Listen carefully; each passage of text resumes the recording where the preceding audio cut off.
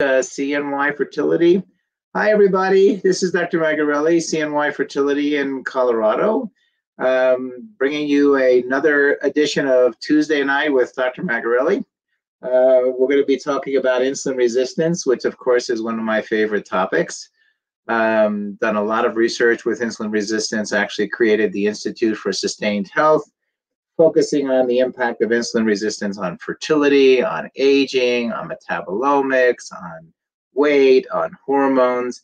Uh, so I spent many years developing a program around how to help folks with insulin resistance get fertile, as well as to get fit. Uh, my hey Amber, you always jump on nice and early. Good to see you, Amber. Welcome. Um, everyone say hi to me so I know you're on there live. Uh, looks like we've got about 30 people. Everybody say hi.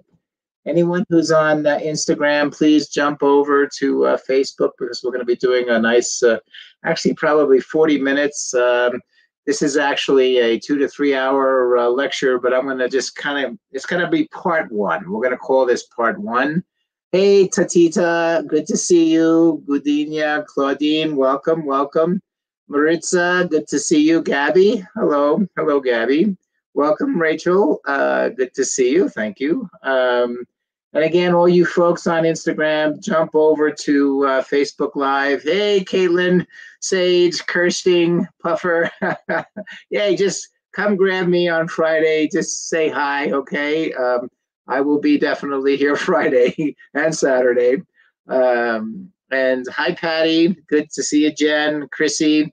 Good to see you. Um, today we're going to be talking about uh, insulin resistance, which is another name for PCOS, which is another name for metabolic syndrome, which is another name for prediabetes, which is another name for middle age uh, weight gain, which is another name. So you're going to see that I'm going to try to tie this in a nice bow. And uh, hey, Jessica. Hi, Nisha.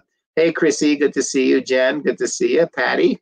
Thank you for joining us. Um, this is kind of a topic that's near and dear to my heart, and I'm going to show you some of my own uh, journey through this process um, with insulin resistance and the things that I've learned over over time. Um, and my goal is really to give you a um, just the like I said, part one. Hi, Ashley. Uh, part one of this this uh, understanding of of uh, how with the role that insulin plays in the in especially with regards to reproductive medicine. Of course, my topic here is always how to create one healthy baby. As you may or may not know, I've done uh, I've created um, uh, uh, the Institute for Sustained Health. I've created the uh, bariatric uh, program in um, in Las Cruces. Um, I developed the Advanced PCOS Institute. I helped create the integrative medicine part of um, of uh, traditional Chinese medicine in the in um, in the United States. Um, hello, Janet. Can't wait to finally go to the Colorado Springs location. Of course, we're looking forward to see you. Patty Wilson, same, same. Uh, that's so great that you guys are excited as we are. And we are, by the way, I want to just give you some uh, work updates. Uh, we've hired an additional um, one, two, three, four nurses. Uh, we've hired an additional uh, two uh, medical assistants. We've hired an additional uh, two front desk people. We are now getting over 3,000 phone calls a day, and I just found out today that we're getting 100,000 requests for care per month uh, through our website. Um, Yes, Jessica. Uh, let's talk. We will be talking about uh, insulin resistance and gestational diabetes. They are related, uh, and they're really related around the idea uh, of uh, of the role insulin plays. I'm just kind of stalling here for another four or five minutes before I get started. And as I said to the folks when they were on here at the beginning, is that this is really part one of probably a five-part series on how insulin and food and nutrition play a role in reproductive medicine. Um, yes, Maritza, we are growing and um, some really good news coming out of Sarasota, Florida. We're going to hear about that soon. Really good news coming out of Atlanta. You're going to hear about that soon. Uh, some even news coming out about Philadelphia, maybe even soon. Um, um, and we may be seeing something in California. So um, we're trying to spread the word that high quality fertility care does not have to cost an arm and a leg, as you very well know. Um, okay, so uh, I'm going to get myself set up here. You guys sit back and relax. I'll be mostly talking for at least uh, 30 or 40 minutes, and then just uh, write down your questions, and then I'll get to as many as I can. Um, I love this subject. Um, I live this subject. It's the basis for Kiltz's keto. It's the basis for um, many, many uh, nutritional, the, the whole uh, low carb, high fat approach to eating. Um, so here we go. So what is insulin resistance? I want to give you some other names for insulin resistance. Some people talk about metabolic syndrome. Other people talk about polycystic ovarian uh, uh, syndrome. Hey, Nefertiti. Um, other people talk about hyperinsulinemia. Some people talk about pre-diabetes. Some people talk about that middle age spread that happens in our late 30s, early 40s. Some people talk about it uh, um, perimenopause. Some people call it underactive thyroid. Some people associate it with the obesity epidemic, the cardiovascular disease epidemic, the diabetes epidemic. And guess what? The center focus of all of these issues are related to how you metabolize sugars. And how you metabolize sugars is directly related to how much insulin uh, you will produce. And how much insulin you produce is, is directly related to whether or not you have insulin resistance or hyperinsulinemia. So I'm going to use PCOS because it's easy uh, and, and talk about that. Everyone thinks of polycystic ovarian syndrome as an ovarian, that's the ovary. Well, in reality, the root cause for uh, uh, polycystic ovarian syndrome, which means the behaviors that we see, it's not called polycystic ovarian disease, it's called polycystic ovarian syndrome, is really based around hyperinsulinemia and insulin resistance. So let's start somewhere. So you could say you could start at the ovary, but I think we should start at at, at our at our key source of this this functional insulin secretion, which is excess carbohydrate ingestion. So excess hypercar- carbohydrate injection, you can start here, causes a flux of insulin because every time you eat a carbohydrate, your insulin is squeezed out of your pancreas at the, the, the most efficient way to squeeze that pancreas is with carbohydrates, less efficient is with protein, and almost zero effect on insulin is fat consumption. So if you have the typical American diet, it's called the standard American diet or SAD, that's what it stands for, standard American diet, you, you can, and I'll show you the history of it, you'll have what's called hyperinsulinemia, meaning too much insulin will be secreted. Now we'll talk about the pathophysiology of how that affects cells, but let's say that happens. Well, what insulin loves to do, loves to do is to convert all that glucose that you're eating into fat. Absolutely. If you asked insulin what its number one job is, it's to take glucose and make fat. It would be happy day and night and night doing that. Well, that excess fat has its own properties, chemical properties, which causes aromatization. What is aromatization? That forces that forces um, it takes testosterone and uh, it makes estrogen. So adipose tissue takes testosterone, makes estrogen. We'll get to where the testosterone comes from shortly. So this excess estrogen tells the brain, hey, I don't need you to grow any follicles. I don't need you to get this person pregnant. I don't need any periods. I don't need any of that because I've got all this estrogen. And the only place I can think of, this is the brain talking, that I can get estrogen is from an ovary that's developing follicles. It didn't realize that this estrogen is not coming from the ovary, it's actually coming from the fat tissue that we carry, male and female.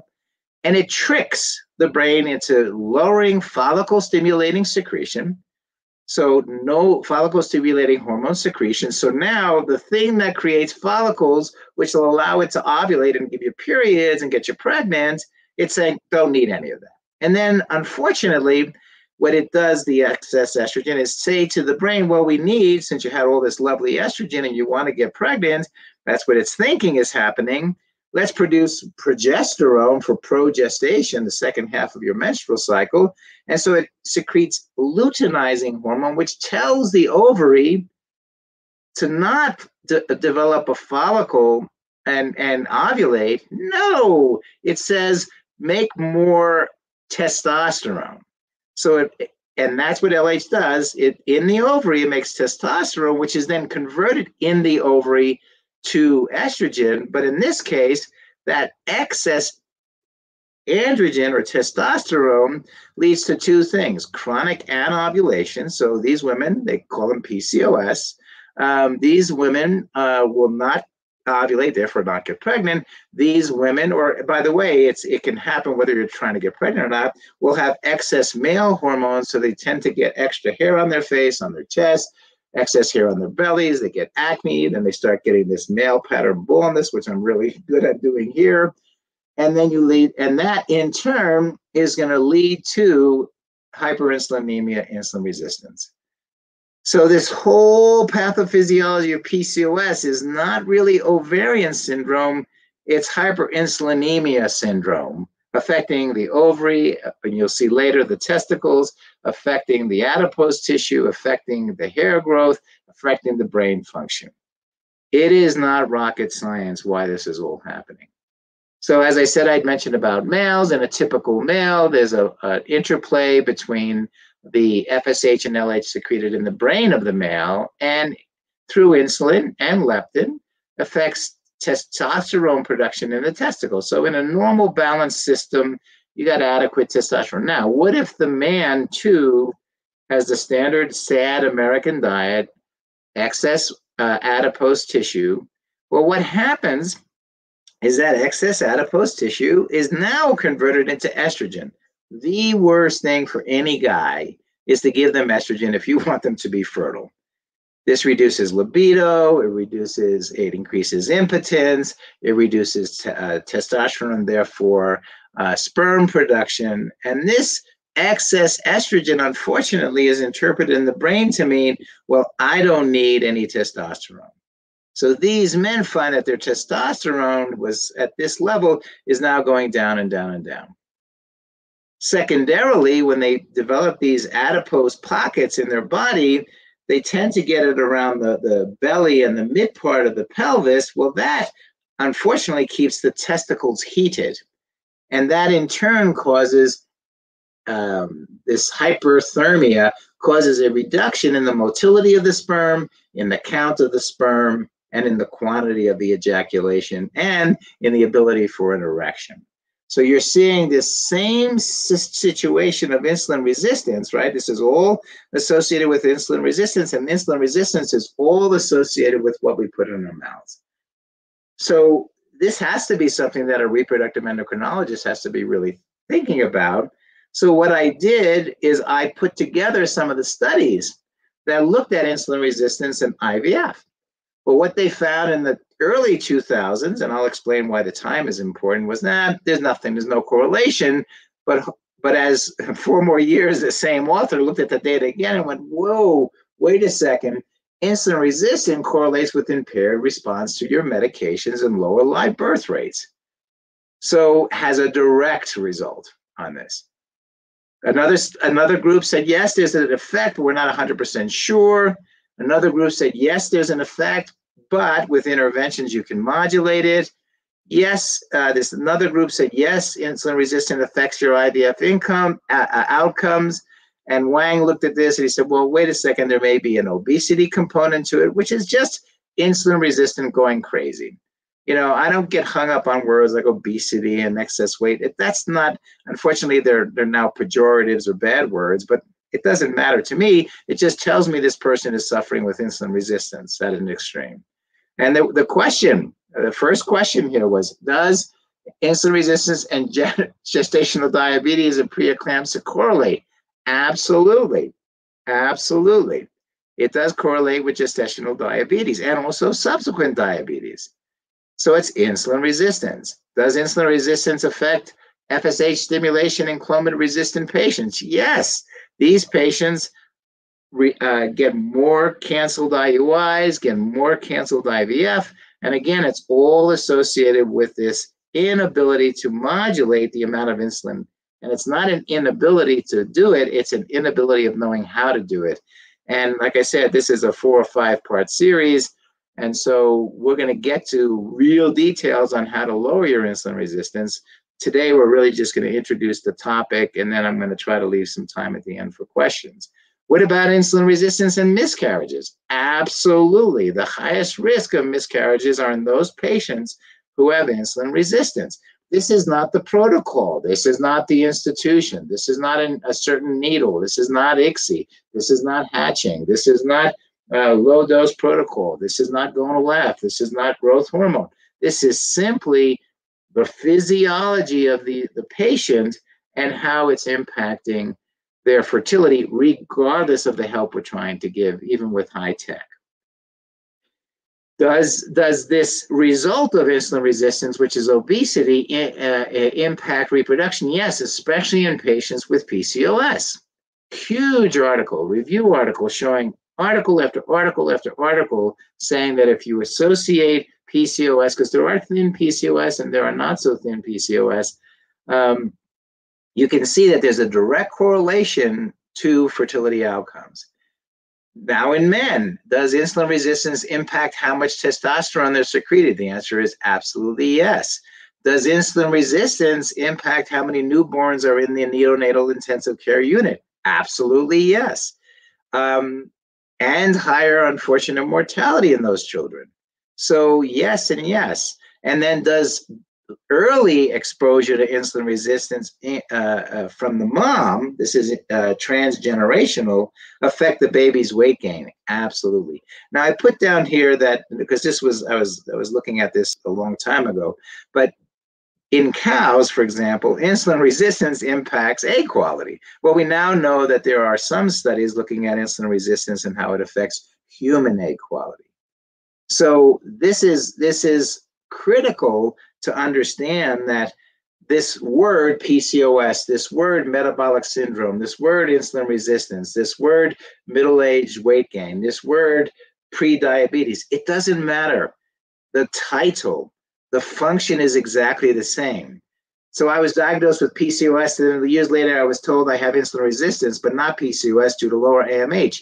Baloney, Lindsay. Baloney. The AMH is not anything. It's just a marker of activity of follicles. It tells you nothing about your metabolism. If you have PCOS, you have insulin resistance. If you're above 35, you have insulin resistance. If you're 10 pounds overweight, you have insulin resistance. If you, um, you know, the, the list goes on and on. So don't get caught up on what measures insulin resistance because it's very difficult to measure who cares what the name is? What you want to understand is what it is, how to mitigate it, and how to improve outcomes. So this is a book. It was put out by Harvard, and you know everybody looks to Harvard as the sine qua non of knowledge. I happen to not like this book very much. Um, I, I, think that it's it's um, a very conservative view and a very uh, one-sided view uh, of the uh, of of of of what we understand about medicine, but there were some good points. And I'm a guy who takes good points from any anywhere. Anywhere I can get somebody to teach me something, then I'm going to talk about it. So, what can you do with if you have insulin resistance? Well, what you can do is give metformin. Why? Because it lowers your blood glucose. So, since glucose is the cause of excess insulin secretion, anything that could lower it would be a good thing, right? That makes sense. The problem is this is a chemical compound that does affect the liver. It's not, you know, it's it's a tough medicine. But what else can reduce glucose in your bloodstream? Stream not eating it. Not eating it. Kiltz's keto diet is high fat, high protein, extremely low carbs. It's a cute name. It's great. Um, low carb, moderate protein, high fat consumption reduces glucose in your bloodstream. No chemicals, nothing. Keeping your carbohydrate level uh, of consumption down to 50 grams a day. It might be that simple, and you'll see all of the benefits of metformin like that. And then the second one, of course, reduce ingestion of glucose, which I just said. Um, and he notes that insulin, insulin resistance is a function of PCOS. Stop, and we'll see this reason high fructose corn syrup, high fructose corn syrup. Avoid it like the plague. And I'm going to show you some data on that. The other part of this, and I'm just talking about um, insulin resistance, but remember I said that insulin resistance is a result of hypersecretion of insulin. Well, um, hypersecretion of insulin is caused by glucose, and this hypersecretion of insulin uh, causes the cells to reject insulin's function, which is to provide energy or to build fat. So the only cells that don't have insulin resistance are fat cells. So your brain, muscle, bones, eyeballs, nails, gonads, all can be taught not to use the energy of glucose because it's damaging at too high a concentration. And so that extra glucose that doesn't go into muscle energy or doesn't go into growth or, or uh, movement is now converted into making fat. Okay, so that was their idea that there, you know, there may be some functions there. And then they said the um, they've really felt that if we looked at a low glycemic, low carb diet, high monounsaturated fats, which are things like avocados, um, uh, butter, um, you know, coconut oil, uh, and high protein, that has a little controversy. It doesn't have to be high. It just has to be approximately a gram per kilogram lean body mass. These are the things that they found not only affected the insulin uh, function of the cell, it improved menstrual regularity. And later on, on one of these days, I'll tell you about the research that I did at the Institute for Sustained Health. Uh, and then also, the key thing is that the brain functions poorly when we have hyperinsulinemia, and it leads to issues related to depression and self esteem. And if you compound that with issues related to depression and self esteem with fertility, and you compound that with issues related to libido, and you compound that with issues related to, you know, creating a family, you can see that this insulin resistance kind of describes a lot of the patients that we see when they come in to see us. They're, you know, they're stressed, they're depressed, there's, and a lot of times they just blame it on the fertility, but it may well be an, a really a, a response to hyperinsulinemia. He went on to say things like avoiding trans fats. That's of course that's a that's basic. Things like olive oil are great. Um, uh, uh, vegetable proteins, um, not so sure that's exactly the right way I'd go. Slow carbs, I'm thinking more and more, what are they? Beans, maybe, maybe okay. But again, as long as you're keeping your carbohydrate consumption low, he's saying pick the right carbohydrates to eat to keep your carbohydrate consumption low. Take multivitamins, folic acid, iron, etc. And have an exercise plan. They also talk about movement. I'm not going to be talking about exercise in, in this these lectures um, exercises role, I can give you the short form, is to maintain body weight. It is not a weight loss uh, uh, in patients with insulin resistance. So basically it says insulin is the key to for the impact of fertility by the diet. That's it. It basically says that's it. In other words, we know that dysfunction of insulin due to excess carbohydrate consumptions will lead to infertility. Bottom line. Now, why is this personal? Well, there's pictures of me a little a few years ago. Um, the guy on the right thought he was just fine. Guy on the left uh, was after learning that I have insulin resistance. So it was a very personal journey for me, and that's what helped me create the Institute for Sustained Health and in the Institute for Sustained Health, we looked at aging, PCOS, metabolics, hormone, obesity, anything related to, and then of course, sitting in the middle of this, this was attached to my fertility clinic. So I would send patients to the Institute for Sustained Health for understanding how foods were influencing their PCOS and, and their fertility. And a lot of times, believe it or not, they never came back to the fertility clinic because they started ovulating, they started menstruating, they started, and they got pregnant. As a matter of fact, 24% of folks I sent to my institute just to look at the nutritional side of insulin resistance got pregnant on their own, which is lovely. That's the best way to get pregnant. Um, and so, so that's kind of the preamble. So how did we get here? And that's really what I'm going to do for the next 15 minutes is how did we get to this issue of the insulin resistance epidemic that we see? So let's look back. So here's a, a nice little cartoon. I love this cartoon. It kind of says for two million years, we've evolved to this stage of the human uh, form. But in 10,000 years, which is not much as a blink, we've evolved to this human form. What in God's name happened 10,000 years ago? What happened? So, guess what happened? Agriculture. Prior to 10,000 years ago, there was no agriculture. So that means there were no there were no farms, there were no grains, there were no uh, well, certainly no packaged foods, but there were none of this uh, institutionalized eating. So that's okay. So that happened about 10,000 years ago. But the real issue, which has happened to the United States and then the world, was an event in 1977. In 1977, Senator McCarthy, who was in charge of the Senate Select Committee on Nutrition and Human Needs, looked around and found that America had grown from the four, 1940s, which was about five or six percent obesity in the United States, to a whopping eight percent in the 19, up to in 1970s. And what they realized is that four percent increase in obesity in the United States was leading to an enormous increase in diabetes and cardiovascular disease.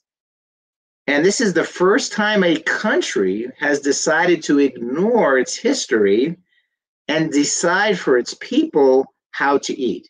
Now, you remember America is a melting pot, so to do that means people from Asia, Africa, Europe, they were going to come up with a standard way we were going to eat.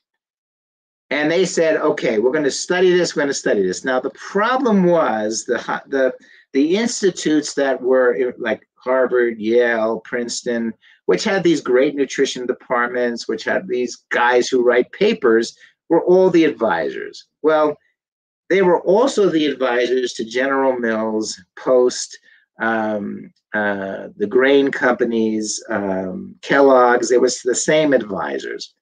So when they went through this process, they said, well, let's see. Uh, cardiovascular disease is fat in the arteries. People are getting fatter. So it must mean that fat is the reason why we're having this problem. And so if we reduce fat, great. Well, what are you going to put instead? Well, let's give them something that's very inexpensive. The United States is known as the breadbasket of the world. Let's just give them bread. Let them eat bread, as Marie Antoinette said. She actually said, let them eat cake. Same thing. Let them eat flour producing products. And so the decision was, well, let's increase the carbohydrate intake, decrease our fat intake, and decrease access to, to foods that have cholesterol, like farm fresh eggs and meat.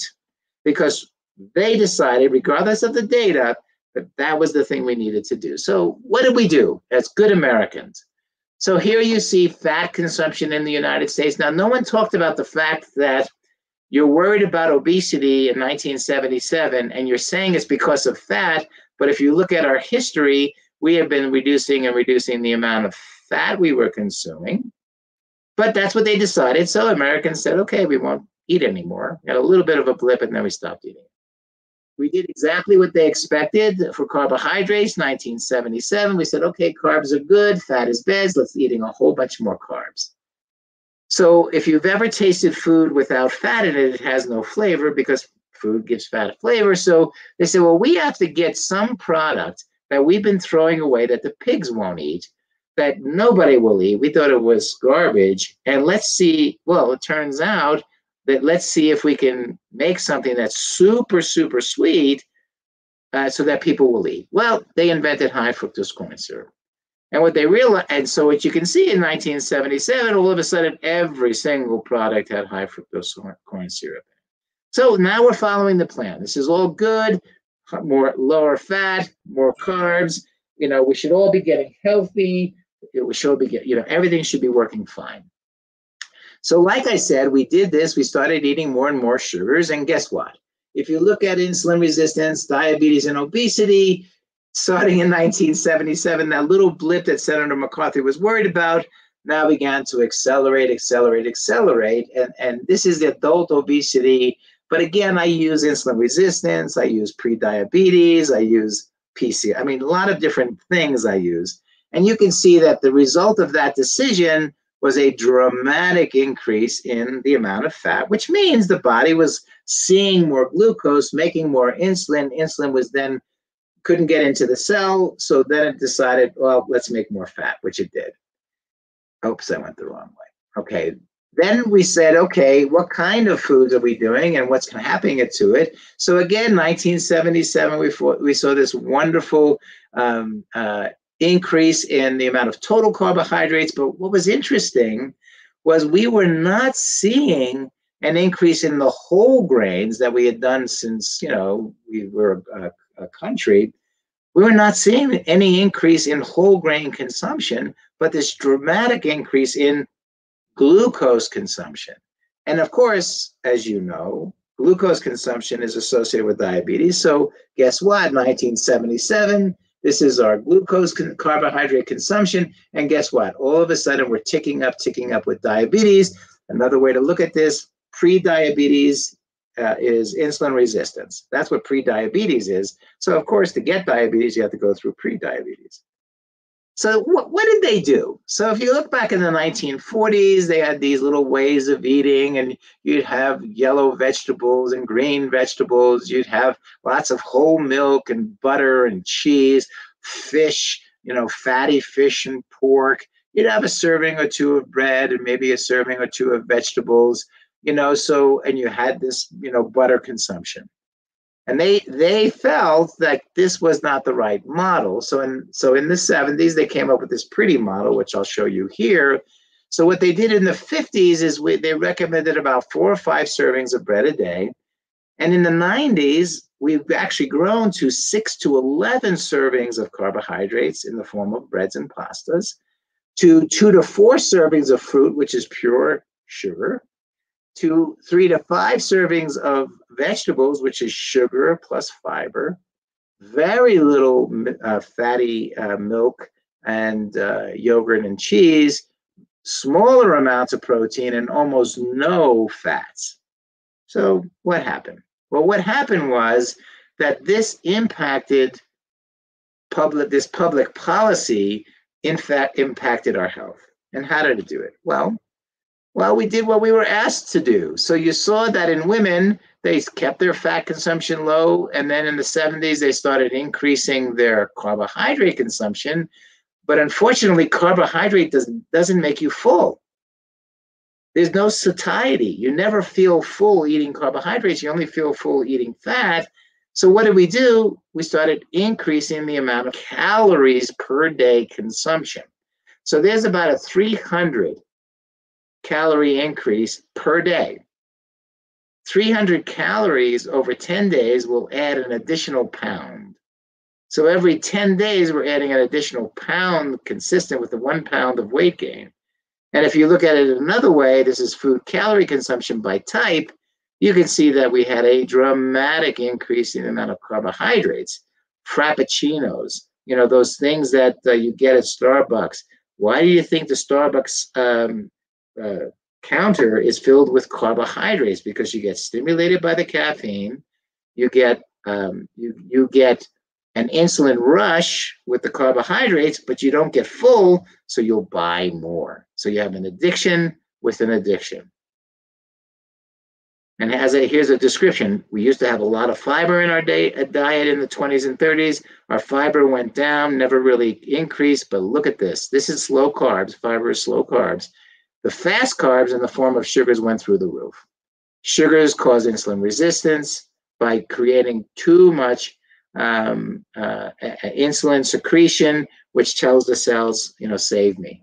And then again, here's your free fructose, high fructose corn syrup, and it is a direct link from the 70s. You just you didn't see it as quickly, but this the, the changes in the percent of obesity, which is another form of insulin resistance, just went skyrocketing. I use it as a surrogate. And guess what we did? We exported this around the world. So everyone listened to us. Basically, fats were bad, carbs were good. Now, the French were very resistant to it, so you can see they didn't have as much dramatic, but certainly England, Canada, Spain, uh, even Switzerland, you can see these dramatic increase in diagnosed obesity, again, form of insulin resistance, to just simply being overweight, which of course many more people are overweight versus obese. But again, that's another way of saying many more people are insulin resistant, which is another way of saying uh, we have more and more and more uh, infertility. Okay, well, it, it suggested that by 2020, this was a uh, studies done in the 1990s, they said by 2020, we would be 70% overweight, and we actually have surpassed that. So this trajectory has not slowed, it's actually sped, sped up. What else happens? when you're depressed and you're you're you're feeling not good about yourself, you don't move as much. So what you've seen concurrently with that is a dramatic dropping in physical activities in the major countries of the world, which in and of itself, it doesn't cause you to gain weight, but it it doesn't stop you from gaining weight, which is what I said happens when you when you um, when you uh, do exercise. It keeps you from gaining weight. So let's look at some numbers. In the 1800s, uh, let's just look at sugar consumption. Obesity was around 3%. That means three people out of um, every 100 were overweight. That's the way of looking at it. And they were somewhere between 8 kilograms or uh, 16 pounds of uh, sugar a year, okay? Then if you look at in the 1950s, we got up to three times that much to 45 kilograms. Um, and then again, by the year 2000, we're now up to 70 uh, kilograms, which is another um, 133% increase. But our obesity, again, a form of insulin resistance, went up 200% between 1900 and 1950, which worried them. But between 1950 and now, you see it's gone up almost 400%. Again, essentially because we focused, we listened we were told that carbs were good and, and fats were bad in 1970. It's been proven over and over that's not true, but people don't change. It's hard. So, how do we trick you? Well, the way we trick you is we name it all different things. We name sugars all different things on our ingredient list. I was looking at this high performance um, supplement for athletes because we've made the perfect mix. And guess what it was? It was dextrose, glucose, salt, and that was their mix. So you might see crystalline fructose or maltodextrin. You might see malt syrup. You might see inverted sugars. You might see high fructose corn syrup. All of these have the same function, which it is to have super amounts of insulin secreted. And then, by the way, even the fake um, uh, uh, sugars, which means they're the fake sweeteners. Fake sweeteners trick your body into producing insulin anyway. So that's why now all the sugar-free soda data now says that there's a direct correlation with how much uh, diet soda you drink and how heavy you are. The more diet sodas you drink, the heavier you will become because all of these will cause insulin super secretion. Stevia is a little bit different, but anything sugary, sweet, will tell the brain secrete insulin. And it also keeps the addiction going. So, what do we eat in our lifetimes now? Well, per, per day, about 12 teaspoons. Per week, about two cups of sugar. Uh, per month, about uh, almost eight cups. Per year, about 45 pounds. And a dumpster full of sugar by the time we're 60 or 65. But how much uh, high fructose corn syrup, in addition to the uh, carbohydrates we're consuming, is a is a basic jacuzzi uh, full of that. So all of this is pointing to the fact that you don't have to be tested for insulin resistance. If you're 10 pounds overweight or your fat hangs over your belt over your belt, or you, you have irregular periods associated with excess hair, or the male has low testosterone levels and poor libido, or there's signs of infertility, reduced fertility, you don't need a diagnosis. You can do something about it. So let's see if, if uh, Senator McCarthy was right. He said saturated fats are bad for you. And therefore, if we stop the saturated fats, we will be all cured. 1977. This is our meat consumption prior to 1977 in green. We said, we will listen to you. So we said, we'll stop eating it, stop eating it, stop eating it. But look what happened. That didn't result in lower obesity. If you just plot out obesity, again, another form of insulin resistance, you see this dramatic increase in obesity. So that didn't work. So what about grains? So prior to 1970, remember the people who made up this diet for Senator McCarthy were the people who sold or consulted with the grain companies, Kellogg, Post, and General Mills. Well, what was happening prior to 1970 was people were not consuming their products. So what did they say? Well, we think the more carbohydrate you eat, the lower the obesity rates, right? So again, here's your obesity rates. Here's your carbohydrate rates here. They're going down. Oh, now we said carbs are good. So now our carbohydrate consumption went up, went up, went up, went up. And guess what? Unlike the meat, which it went down, obesity went up, here it went up and obesity went up, insulin resistance. So this is what the United States in 1985 began to do is they began to say, okay, again, using obesity just as a way of measuring insulin resistance, let's look at who's who's got more insulin resistance and they colored it. So if 10% of the community had it, you were darkish blue. If you're 15%, you were really dark blue. And you can see there was nobody that was 20 or 25 or 30% uh, with insulin resistance or obesity. And that was 1985. Well, if you overlay 2018, they don't have that light blue anymore. They're gone. Light blue is gone. That doesn't even rate anymore. So they went to green as 20%, which was one of the worst here, right? 20% was considered the worst in 1985. Well, now Colorado is considered the best because we have about 20%. But now the rest of the country is not 25, 30, not 30, 35, but now we're looking at 35 greater than 35%. And this is projected to be almost completely red by 2030, the whole country.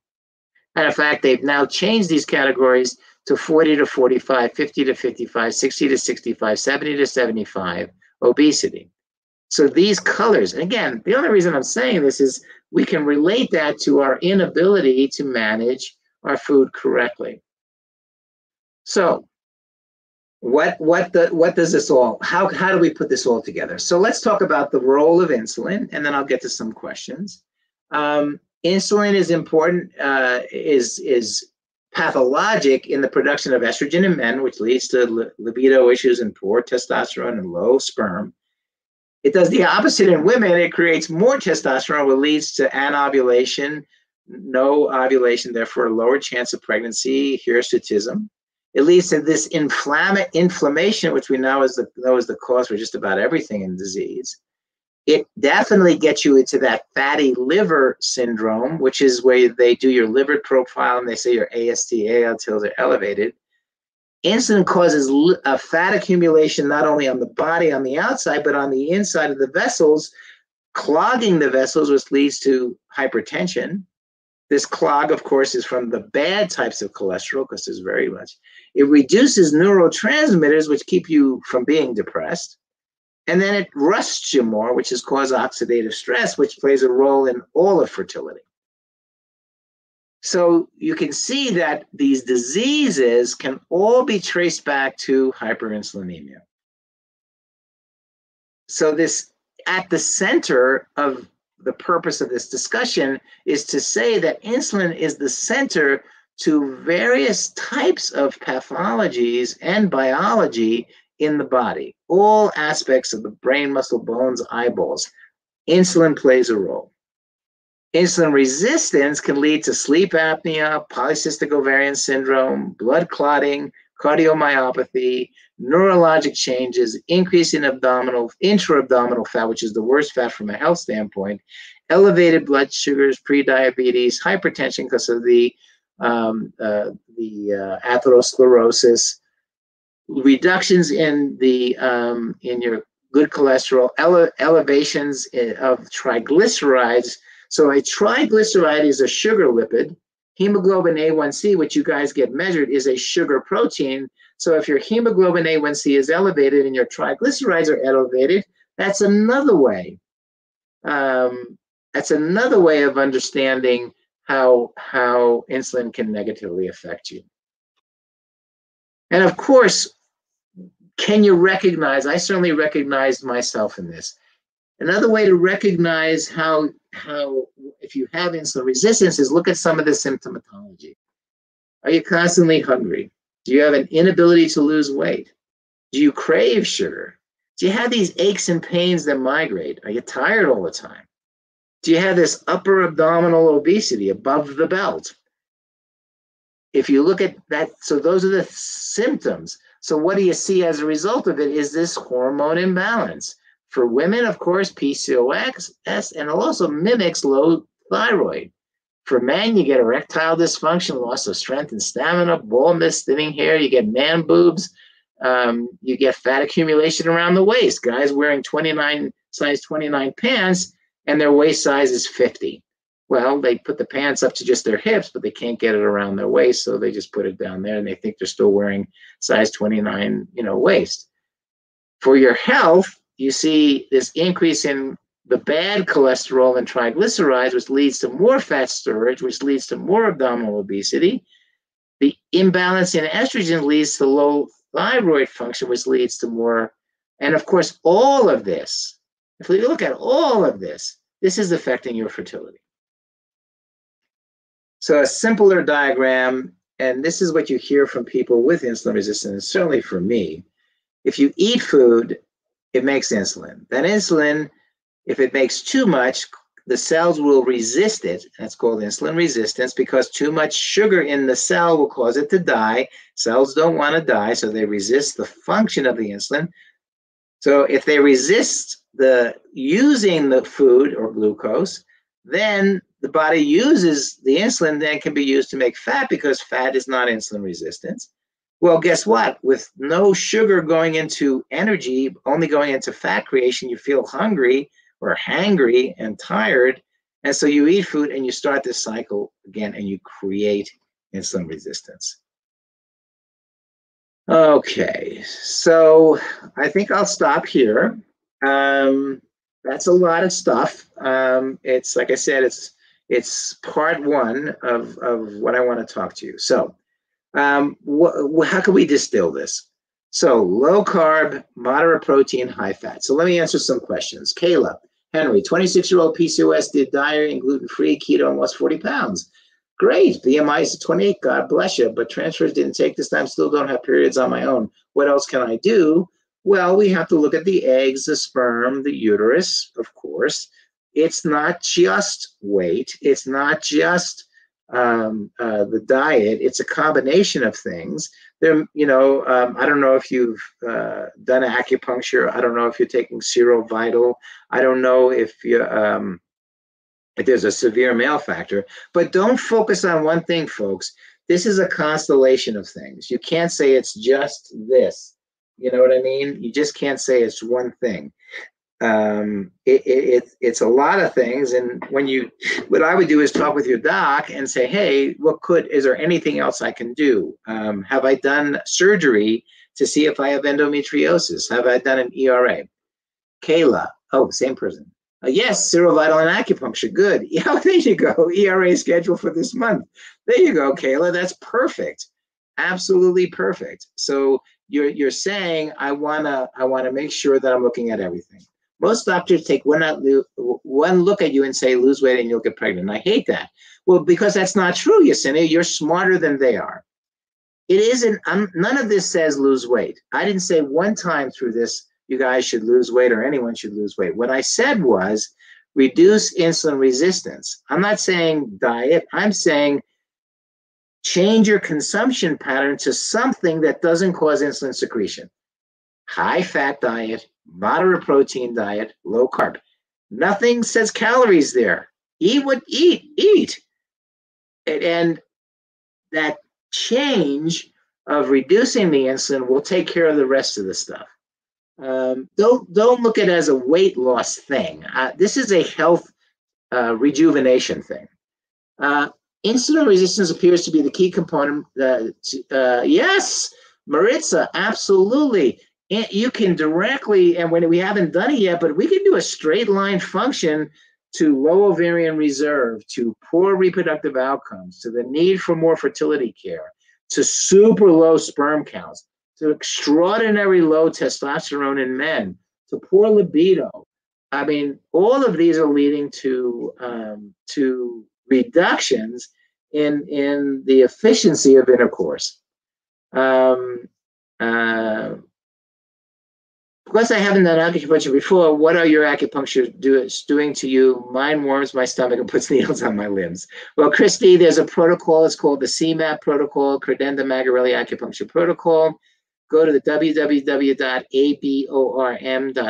the American Board of Oriental Reproductive Medicine. All of those guys know the CMAP protocol. It's not just simply warming bellies and putting stuff, stuff in the limbs. Go to the Healing Arts Centers at CNY. Time. I have PCOS and endometriosis and had, and had surgery twice and type 2 diabetic, but still have my period but can't get pregnant. What else can I do? I've done, you're done. It's not keto, it's not supplements it, it, you're you're done. That's not the area where the problem is. We have to find out. You're welcome, Christy. You have to find out where is the problem. What is going on with the eggs, the sperm, the uterus? Do I have an? And you said you've had endometriosis surgery, PCO. I don't know how old you are, Ty. Age, of course, is the number one reason for infertility. As we age, our fertility goes down. Sperm issues, the number two cause of infertility. As we get older, our sperm performance goes down. Uh, and then excess estrogen, number three. You know, so there's a lot of things that can can uh, contribute. Are you doing acupuncture? Are you doing the serial Serovital? Are you you know doing your your your your your you are doing the supplements? Fantastic. And you're 32, so there's something going on. And sometimes we have to look at the eggs, look at the embryos. I don't know if you've done IVF, but um, you may want to you may need that for many reasons. Lindsay, I'm on metformin I've seen lots of ladies in a support group on 2000. Is this something I should take my doctor, talk to my doctor about increasing? No. Tell your ladies in your support group, stop eating carbs, and you may not need the metformin. That's what you tell your ladies in their support group because the purpose of metformin is to try to hide the, the carbs from the body. Well, why not not put them in there? Now, the therapeutic dose is somewhere between 1500 and 2000. But again, Lindsay, low carb, moderate protein, high fat, that's not calories, that's not dieting, that's simply a change in the types of food you're eating will do more for you. What can I do to lower my testosterone levels? Low carb, moderate protein, high fat, and um, and and uh, that will be the very best place. There are medications, dexamethasone, prednisone, to lower that. You can talk to your doctor about that. What are some in-depth tests to look at sperm besides a simple semen analysis? Well, there's the DNA fragmentation index. That's something that you can do. Uh, uh, y chromosome microdeletion. Um, or you can simply do IVF with ICSI and get around some of that. If you lower insulin resistance, can you increase ovarian reserve? Derek, no. Uh, ovarian reserve is genetic, but you can get access to the follicles that you have better.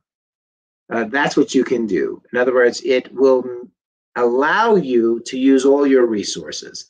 And I think that's the key around acupuncture and a variety of other things is that that's that's what we're hoping for. That's the thing that we're trying to to impact is getting access to all of those wonderful follicles that are there. Other questions. And like I said, this is part one of a five part. I, stopped here, but there's so much more uh, we can talk about around this, things we can do. I can give you some examples. Uh, certainly, the anything that's ke uh, keto oriented is going to be a low carb, which is the whole trick of it. it you know, I love the names keto and all these other groovy paleo and all these names but the bottom line, it's a lower insulin way of eating. Reduce insulin secretion eating. Doesn't have a ring to it. Okay. R I E, re or something. It just doesn't have a ring. So people talk about keto and they talk about low carb, high fat, and that's to describe something. Keto is nothing more than a description of fat breakdown. When fat breaks down, it makes a ketone body. Big deal. Big deal. You know, low carb, high fat diet. It says what it is. Eat less carbs, more fat. Now, fats are things that are good fats, of course. What are the best supplements for egg improving egg quality in Nefertiti? Just review last week's um, lecture because that's or two weeks ago. That's all I talked about was um, supplements. So that's all. You guys can go to fa- uh, our CNY Facebook page and you can and look at my previous lectures. I'm building a library for you. Okay. Uh, Serovital, is there a better time to take it? Yeah. Uh, uh, take the cheapest one. I know they're coming out with all different ones. Get the least expensive one at Costco, 63 bucks for 40 days. Take it on an empty stomach first, first, uh, first time in the morning. I'm on the Kilsis keto, eating one meal a day, eating meat in the evening. I feel well rested, using the, the restroom regularly, uh, feel energetic, and believing it will help my fertility. It will, Christy. You, you've got it. Not that it, you, the way you're eating will help your fertility. Would you say exercise is one of the biggest ways to help insulin resistance? In addition to diet, exercise will help with insulin resistance. Absolutely. Absolutely. Fasting will help with insulin resistance. Um, yeah, listen to the whole video. Okay. Uh, take a look at the family building guide. That's right, Jessica. It's good to see you back on. Um, yeah, so the family building guide talks a lot about the supplements, but uh, what I did in my lecture is really cull that down to even simpler form. So take a look at the the the um, the, the video that I put together, the whole thing, as they said, because I think that'll give you a lot of information. I'm trying to simplify things, make it easier for you guys, bearing in mind costs, etc. So, you know, our goal is. Um, oh, you've been here the whole time. Okay, thank you, Jess. I know. I just am glad to see your name. I missed your name at the beginning of the talk. Kayla, I've been doing intermittent fasting and I've lost 12 pounds last month already. Love intermittent fasting. Intermittent fasting is simply not putting food in your body for at least 12 to 14 hours. That's it. That's simple. That's it. You know, I do it once or twice a week. Yvonne, I'm 44, did two egg retrievals and got 22 mature eggs. Holy moly. Uh, do you know how many of will be embryos if I'm 44 years old with 22 mature eggs? No, I don't, Yvonne, because it has to do with um, your husband's sperm. Uh, that, so glad glad you got eggs, but you have to see how the sperm work. Typically, um, I would say that uh, let's use 20 because it's a round number. If you can get three or four good embryos, I would I would be really pleased. I would be really pleased. Well, anyway, my hour has disappeared again. Um, I hope you guys keep enjoying these sort of somewhat uh, academic discussions but i want and again you could always review and and and see the slides go to my go to you know go to our website see the lecture if you want to get more information. I'm going to keep building this. I am writing a book so that i can talk about um, uh, you know the it's sort of um, it's uh, called fertile soil. You know, it's looking at um, metabolomics, metabolism, and how it plays a role in cellular dieting is another name. Um, we haven't decided um, um, what we're gonna, you know, what we're gonna call it, but it's gonna be about uh, the role of nutrition and, and nutraceuticals. Um, thank you, Stephanie King, my dear acupuncturist from East Winds Acupuncture. I thank you. Stephanie is uh, uh, works with Dr. Diane Cridennda at East Winds Acupuncture. Dr. Cridennda created the Cridennda Magarelli Acupuncture Protocol. Stephanie has joined us, amazing gal, uh, amazing acupuncturist. We're so proud and happy to have her on our team.